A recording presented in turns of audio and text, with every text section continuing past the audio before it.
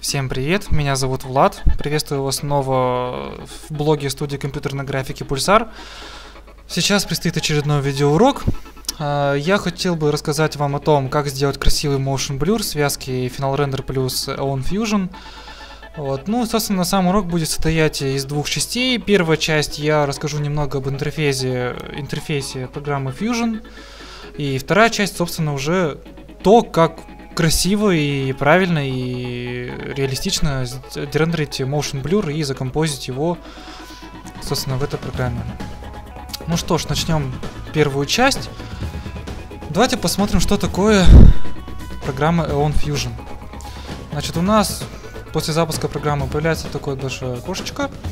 Что здесь есть? Во-первых, в центре экрана, ниже центра экрана, скажем так, у нас э, видна сеточка вот такая вот. Э, что здесь будет происходить? В эту сеточку мы добавляем различные ноды. Ноды это, скажем, различные инструменты для цветокоррекции, для вырезания объектов, для различных их совмещений и так далее и тому подобное, там наложение эффектов. К примеру, у нас есть э, первая нода, у нас есть вторая нода. Пока не буду подробно останавливаться на них, ну, там в процессе изучения программы вы посмотрите, что каждая из этих нод означает. Соответственно, есть выход, это красненький такой квадратик. Мы его соединяем с соседней нодой. Что мы делаем? Мы просто наводим мышкой на название ноды. Программа сама понимает, куда нужно подцепиться. В данном случае это у нас желтенькая вот такая стрелочка. Вот. Ну и, соответственно, давайте посмотрим лучше на реальном примере, что и как происходит. А, начнем с самого начала. Соответственно, чтобы нам загрузить какие-либо картинки, в нашем случае это секвенция картинок, то есть очень рекомендую всем использовать не сохранение картинок, допустим, в AVI формат или какой-нибудь другой, а именно в секвенцию JPEG, там PNG или любого другого формата. Однако во второй части урока я вам расскажу про замечательный формат OpenEXR. Вот. Ну, в данном случае давайте посмотрим, как загрузить картинки. А, в верхней части программки, вот здесь вот, все следят за моей мышкой, а, у нас есть э, различные как раз ноды, есть которые чаще всего используются, это все настраивается через интерфейс, там, через настройки. Вот, я себе вытащил самые часто используемые. Что нас интересует? Нас интересует нода LD. Вот здесь у нас есть иконочка, она присутствует у всех, кто только-только поставил программу. Вот, э, нода Loader, соответственно, загрузчик. Мы ее нажимаем, нажимаем мышку, тащим сюда вот на тетрадочку. Отпускаем мышку, он нас спрашивает, какой файлик нам открыть. Давайте я найду нам файлик какой-нибудь. Так, предположим, пусть будет это вот сюда. И что мы видим как бы здесь у нас в окошечке? Во-первых, у нас стоит галочка Gather Sequences. Что это означает? Это означает, что большое количество файлов, допустим, у меня было там 75 кадров, соответственно, файлики назывались там render 01, 02, 3, 4, 5, 6, 7, 8 и так далее до 75. Программа автоматически считывает все это хозяйство и показывает нам только первый и последний кадр. Соответственно, и, и то объединяя их в одну строчку. Соответственно, если я нажму сюда два раза, то у меня откроются все названия файликов, которые начинаются с рендера, и это будет кадры от 0 до 75. Все, нажимаю Open. Ничего не видно, но программа у нас загрузила, скажем так, нода есть, мы можем на нее посмотреть. Как на нее посмотреть? А, соответственно, вот здесь вот есть, если мы наведем мышкой, а, три черненьких кружочка. Каждый из них означает вывод на монитор. Соответственно, если мы нажмем мышкой на первый кружочек, то у нас покажется картинка вот здесь вот в левой части, в верхней левой части, да, у нас появится картиночка. Вот если мы нажмем на, втор на второй кружочек, то появится картиночка вот, вот в правом, соответственно, половинке, правой. Вот, однако, если я нажму третью, то у меня откроется, соответственно, на втором мониторе, только вы мой второй монитор не видите. Вот. Ну, в общем, имейте в виду, что у кого есть два монитора, вы можете выводить большое изображение полноразмерное на второй монитор. Соответствующим образом у нас э, эти черненькие кружочки дублируются циферками 1, 2, 3 на клавиатуре. Соответственно, я могу очень легко.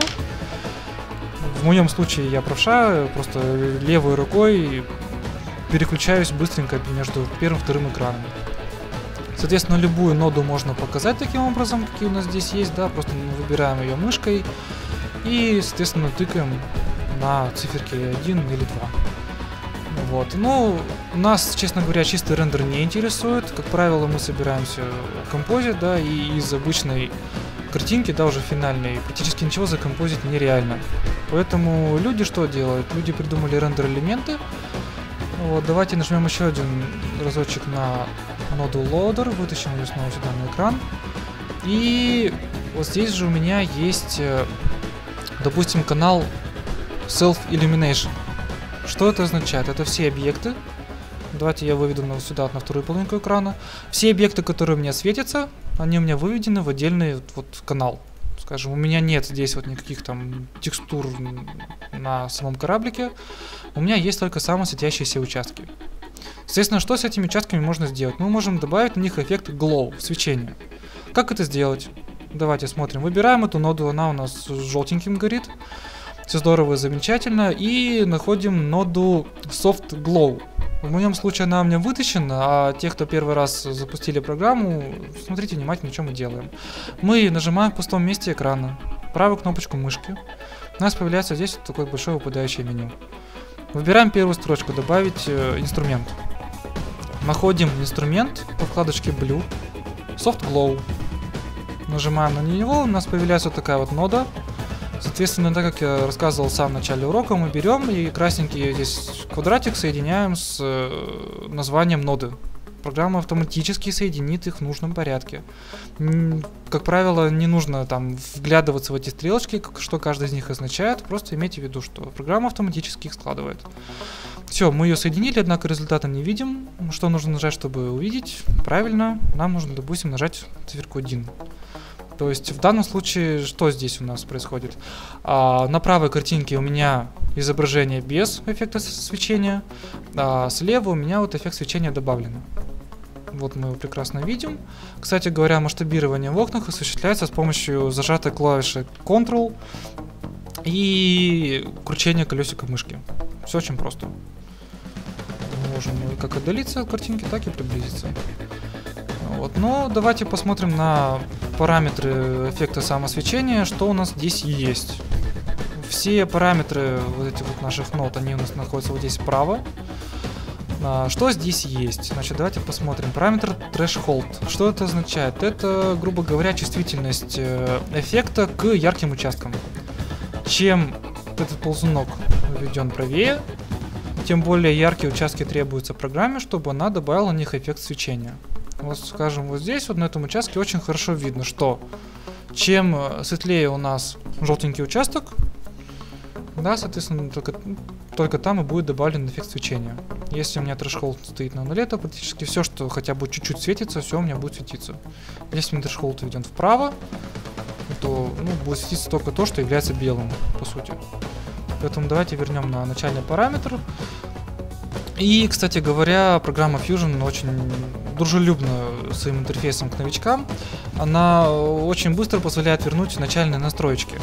Собственно, когда мы дергаем какой-то ползунок в любую сторону, да, у нас вот здесь появляется такая вот точечка. Если мы на нее нажмем, то у нас вернутся настройки по умолчанию. Очень здорово и удобно.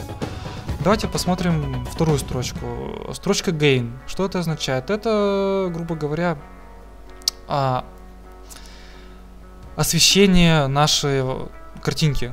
Скажем, если я гейн увожу вправо, да, то у меня картиночка осветляется сильнее. Вот если я гейн увожу влево, то у меня картиночка, ну, скажем, перестает светиться. Вот, давайте оставим все это по умолчанию. Вот, э, и практически последнее, что нас интересует, это параметр glow size, соответственно, размер свечения. Давайте опять посмотрим на желтый участок. Если мы этот параметр увеличиваем, то у нас э, ореол светящийся увеличивается. То есть ну, радиус свечения становится больше, свечение более, точнее менее заметно. Если мы glow size выводим как раз в меньшую степень, да, то у нас эффект самосвечения становится очень маленьким. Давайте опять же вернем на начальный параметр. И сейчас мы посмотрим, как, допустим, соединить начальное изображение с самосвечением. Что мы делаем? Мы берем нашу картиночку, вот она у нас, да, А, и берем ноду Soft Glow. От ноды Soft Glow мы берем, зажимаем мышку у красненького квадратика и тащим мышку к красненькому квадратику у начального изображения. Таким образом у нас картинки совмещаются в порядке, что а, вот эта картинка у нас находится внизу, а Soft Glow должен лежать поверх. Соответственно, если мы включаем мерч, да, допустим, на левый монитор выводим, то у нас видна только результат ноды Soft Glow.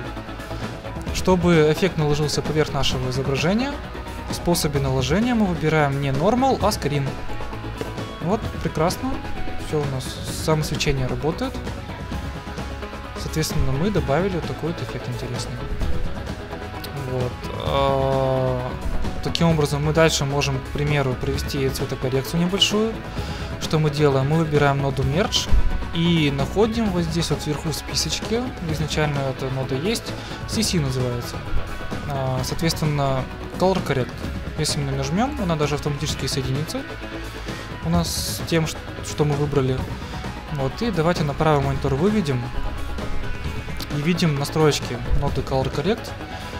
Гигантское совершенно количество этих настроек. Мы можем как э, увести в какой-то тон наше изображение, да, так и поиграться с контрастом картинки, с э, различными другими параметрами, с гаммами, с э, яркостью, с то же самое параметр gain и так далее и тому подобное. Вот. Ну и я думаю, последнее, что стоит разобрать в данном уроке, в первой части, это сохранение наших картинок. Соответственно, мы выбираем последнюю ноду, которая у нас является уже практически финальной э, при выводе изображения. И находим вверху кнопочку SV. Соответственно, нода Saver. Она нас спрашивает, куда же сохранить нашу картиночку. Давайте выберем ей рабочий стол, к примеру. Назовем картинку финал. И в типе картинки укажем JPEG. Все, здорово и прекрасно. Жмем рендер. Вот здесь внизу кнопочка. Ну, здесь, как правило, никакие настройки не меняются. Конфигурация финал. Ну, старт рендер жмем. У нас вот здесь вот быстренько прогоняется весь результат рендера. То есть от нулевого кадра до 75-го. Картиночка считается и сохраняется на рабочий стол. Соответственно, выводится изображение о том, что, точнее говоря, сообщение о том, что рендер закончился. Жмем ОК, сворачиваем программку.